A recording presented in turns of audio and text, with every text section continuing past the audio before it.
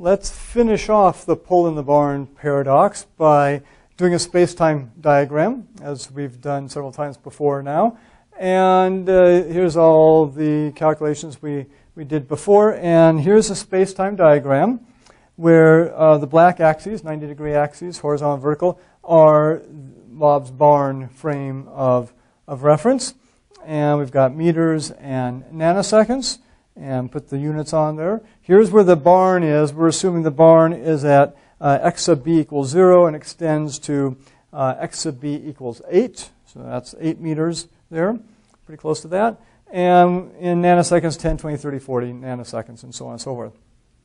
We'll get to the green stuff in a minute, but the red is the essentially space-time path, the world line of Alice's pole as she moves through the barn from Bob's perspective. So right here at this point, at t sub b equals 0, the pole is just at the front door of the barn there and goes backwards here 8 meters because that's how um, that's the length that Bob sees the pole being. And then as time goes on, when it's at 10 seconds here, it's at, uh, not 10 seconds, 10 nanoseconds, it's this position here, and then at 20 it's here, 30 here. In other words, through, in terms of the space-time world line, it moves this way, which of course physically means it's moving into the barn like that. And then when it reaches this point right here, it's reached the end of the barn there, and of course it fills up the whole barn from one end to the other from Bob's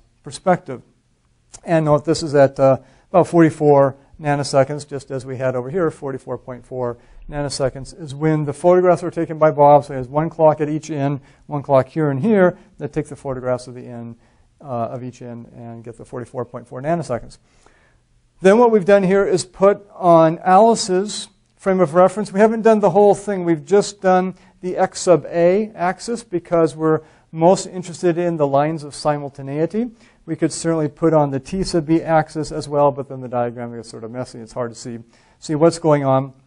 So x sub a, uh, you may remember the slope as we calculated it is v over c squared. And using the numbers up here, we get 2 nanoseconds per meter. So that's where we get this line from and then try to plot it uh, correctly there.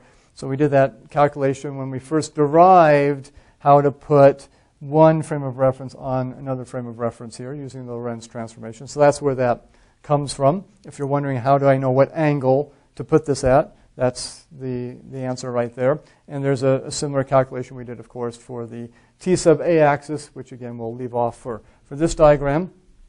And so in this case, we have the lines of simultaneity. And I've just drawn parallel lines to the x sub a axis. I haven't tried to figure out exactly the spacing in terms of precise numbers here.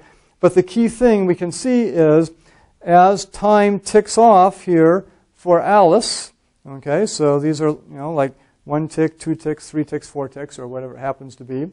Right here, at this time, we can see that the um, barn reaches the end of the pole, or the front of the pole from her perspective, and that's when Bob would take the, the 44.4 nanosecond picture.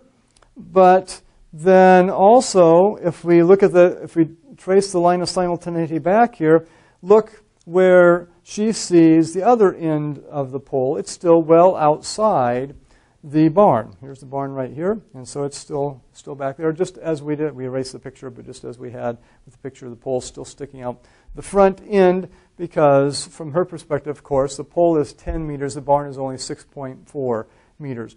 Now, if you did a very precise diagram and put both of Alice's axes on here, you could also show that uh, you get the length contraction effect as well in, in terms of how sh- long she would see the uh, barn being not 8 meters, but actually 6.4 meters there.